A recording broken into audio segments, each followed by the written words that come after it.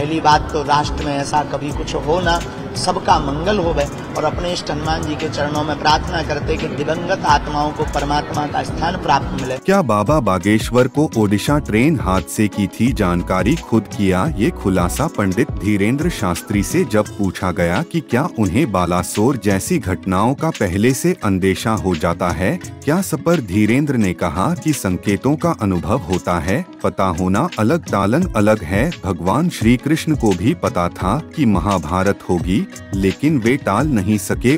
पता होना अलग है टालना बहुत अलग है।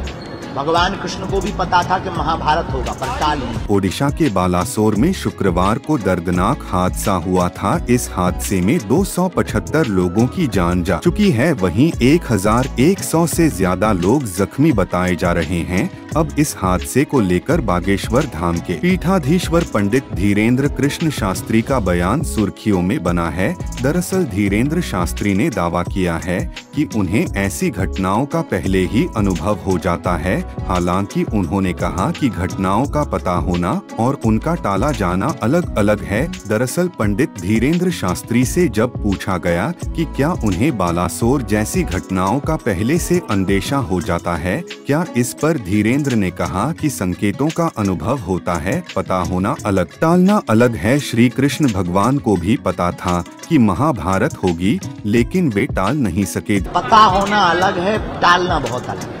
भगवान कृष्ण को भी पता था कि महाभारत होगा पर टाल धीरेन्द्र शास्त्री ने ओडिशा की घटना पर जताया दुख बागेश्वर बाबा ने हादसे पर दुख भी जताया और संवेदना भी ज़ाहिर की उन्होंने कहा विचित्र घटना घटी है मैं प्रार्थना करता हूँ कि देश में कभी ऐसी घटनाएँ न घटे। उन्होंने घायलों के जल्द ठीक होने की प्रार्थना भी की। इष्ट हनुमान जी के चरणों में प्रार्थना करते कि दिवंगत आत्माओं को परमात्मा का स्थान प्राप्त मिले और उनके परिवार को इतना डांडस प्राप्त मिले ताकि उनका जो परिवार टूटा है। ट्रोल हो रहे धीरेन्द्र कृष्ण शास्त्री बाबा बागेश्वर यानी धीरेन्द्र कृष्ण शास्त्री अपने चमत्कार के लिए पिछले कुछ महीनों से देश भर में चर्चित हैं। वे पर्ची निकालकर हर किसी के अतीत में झाँक लेने का दावा करते हैं।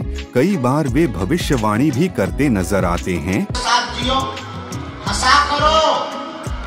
हंसाया करो। बागेश्वर धाम अपने बाप का घर है आया जाया करो। बोलो सीताराम। हम हाथ उठाकर, भारत माता की अपने अपने मताई बाप की, बागेश्वर धाम की, सब अपने मस्तक पर तिलक लगाओ। हम लोग अगर प्राण बाजी पर नहीं लगा सकते तो कोई दिक्कत नहीं, लेकिन जो सनातन के लिए लड़ रहा, उनके बगल में खड़े तो हो सकते